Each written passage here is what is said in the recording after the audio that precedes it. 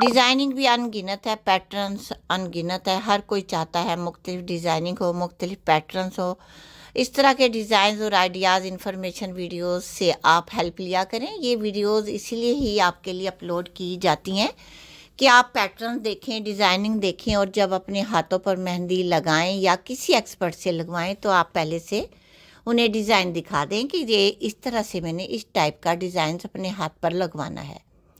फिर कोई कन्फ्यूज़न नहीं रहती, कोई रिस्क नहीं रहता कि इसने कौन सा डिज़ाइन लगा दिया और मैंने कहा कौन सा था।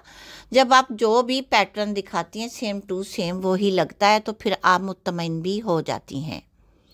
तो ब्राइडल्स के लिए भी स्पेशली यही एडवाइस करूँगी कि अपनी मर्ज़ी के डिज़ाइन सेव कर लिया करें। जब आपके यहाँ मेहंदी की रसूमात से पहले पहले एक दिन पहले ही कोई मेहंदी लगवाता है कोई मेहंदी की रात और कोई ब्राइडल डे से फ़र्स्ट टाइम, यानी फ़र्स्ट टाइम से मुराद है।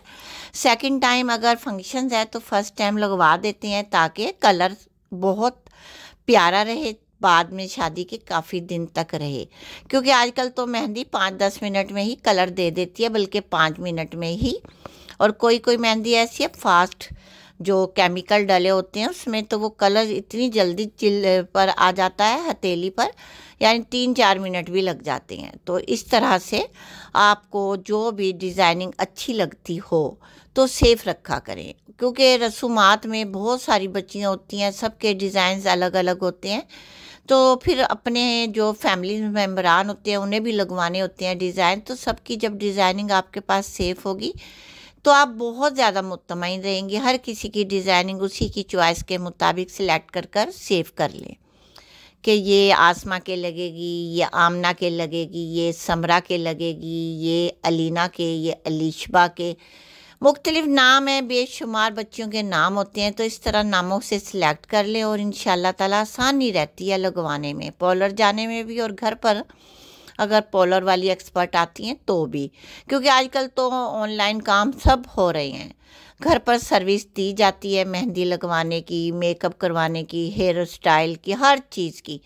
इसी तरह हर सिटीज़ में एक्सपर्ट जो होते हैं, जैसे लेडीज़ पॉलर्स में मेहंदी लगाती हैं, इसी तरह जेंट्स भी एक्सपर्ट बैठ गए हैं। मेहंदी लगाने की शॉप कह लें पॉलर कह लें खोल कर बैठ गए हैं और वो इतनी प्यारी मेहंदी लगाते हैं। मेहंदी कौन से? मेहंदी इंजेक्शन जो होता है, जो नीडल कटिंग शुदा होती है, उसमें वो लिक्विड जो होता है अर्क कह लें मेहंदी कह लें वो उससे डालते हैं उसमें। यानी कि इंजेक्शन में और नीडल की कटिंग शुदा से ऐसे कौन की तरह चला चला कर बड़ी तेज़ी के साथ वो मेहंदी लगा रहे होते हैं बहुत एक्सपर्ट होते हैं।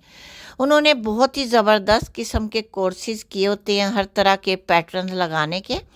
तो उनसे भी आप लगवा सकती हैं। अक्सर आपने यूट्यूब पर भी बहुत सारे चैनल्स ऐसे देखे होंगे जो एक्सपर्ट लगा रहे हैं बैठे हुए। तो इसी तरह हर सिटी में मुख्तलिफ़ एक्सपर्ट आपको मिल जाएँगे, आप रबता करेंगी तो भी।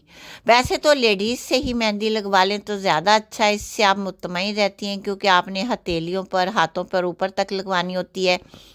स्लीव्स भी ऊपर करने होते हैं और बड़े कंफर्टेबल होकर बैठना होता है तो फिर जेंट्स के सामने बैठने में बड़ी दुशारी होती है। बहुत सारी बच्चियाँ इस चीज़ को फील भी करती हैं।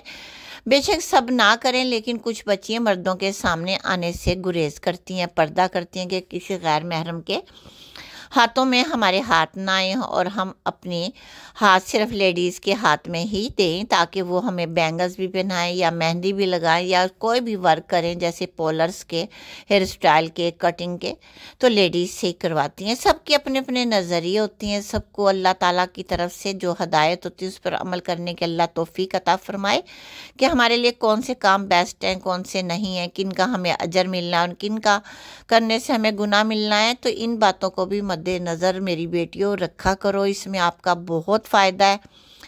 क्योंकि इसमें हमारी आफियत है, हमारे सुकून है, हमें चैन है, हम गुनाहों से बच जाते हैं। गैर महरम के हाथों में हाथ देने से गुरेज कीजिएगा। वो तो मैंने आपको एक आइडिया दिया था, बताया था कि आजकल ऐसा हो रहा है। वैसे माइंड ना कीजिएगा और जेंट्स के लिए भी जो लगा रहे हैं, वो भी माइंड ना कीजिए, क्योंकि मैं इस तरह की जो वीडियोस बनाती हूँ, एजुकेशन देने के लिए बनाती हूँ, उसमें एडवाइस भी देना मेरा फ़र्ज़ है, उसमें अच्छी हर बुरी बात को गाइड देना, समझाना कि इसके क्या बेनिफिट हैं, कई क्या साइड इफ़ेक्ट हैं तो हर चीज़ हमने क्लियर करनी होती है। आपके लिए जो बेस्ट लगे सुनने वालों के लिए, लगवाने वालों के लिए, आप उस बात को अपने जहन की मुनासबत से फॉलो कीजिएगा। मेरी बातों को ऐसे सीरियस ना लिया करें कि इसने ऐसा कह क्यों दिया, कह क्यों दिया। कुछ लोग इन बातों को पकड़ लेते हैं और फिर इस तरह से तनकीदबाजी और बात को लंबा करने में लगे रहते हैं। तो मैं फिर भी आप सबसे माजरत करती हूँ बार बार कि इन बातों को प्लीज़ एक नसीहत और एक बात को समझ कर सुनना।